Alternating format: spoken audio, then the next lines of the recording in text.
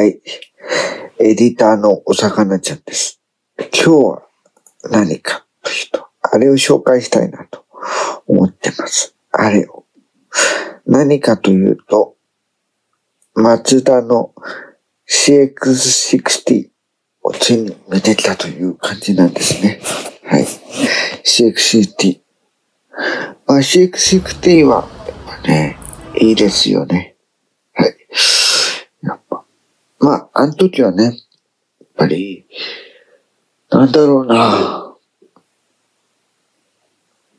あの、まあ、ようやく発売が開始された直後にちょっと見てきたので、まあ実的には雰囲気変わってるかなっていうのはあるんだけど、やっぱ悪くはないねっていうのはあるよね。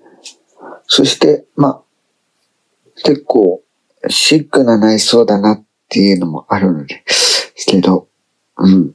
やっぱ、日本車離れしてるなっていう印象はあるし、ここ最近の車にしては、やっぱり、カクカクとした、やっぱり、ラインがあるんだけど、やっぱり、国産車、まあ輸入車でもやっぱりそんなないですよね。うん。まあ結構、ヨーロッパの車を強く意識してるなっていう印象はかなり感じました。こう、まあ、ポルシェとか、ランドローバーとか、まあそういう車を意識してるなという印象は強く感じましたね。はい、そんな感じかな。はい、どうぞ。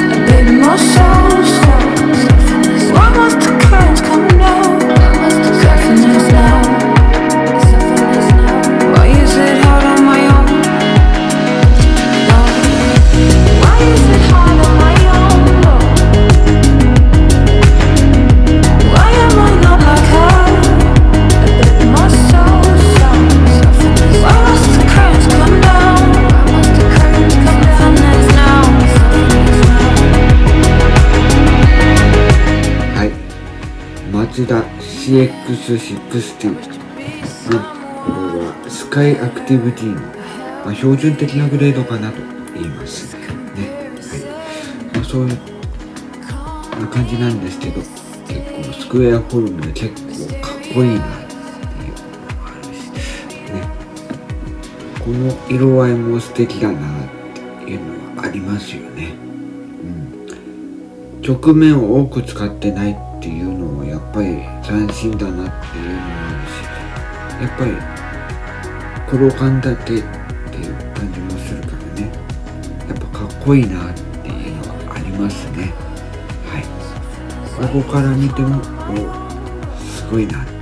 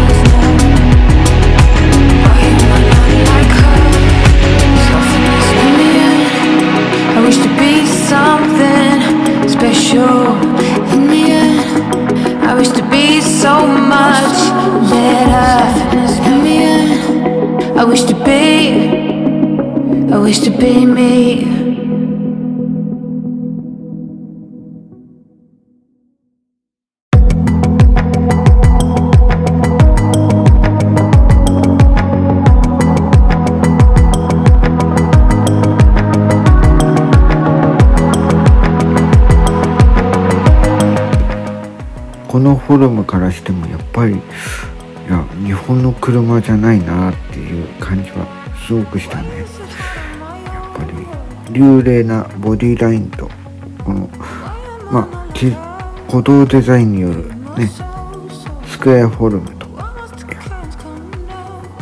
他のマツダさとはちょっと違うなってこれからのマツダを目指すものじゃないかなという印象すら感じたね。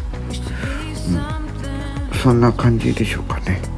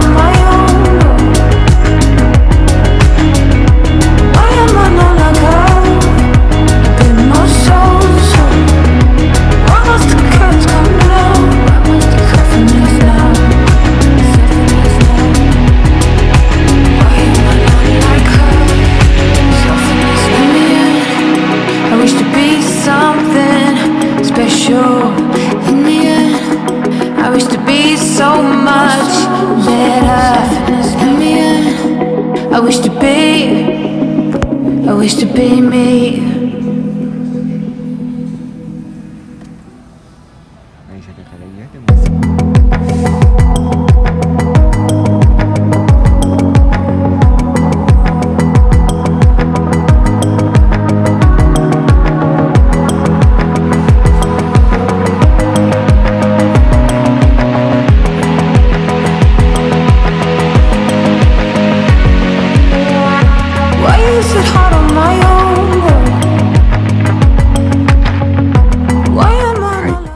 手短ながら、まあ、エクステリアもちょっと見ようかなと。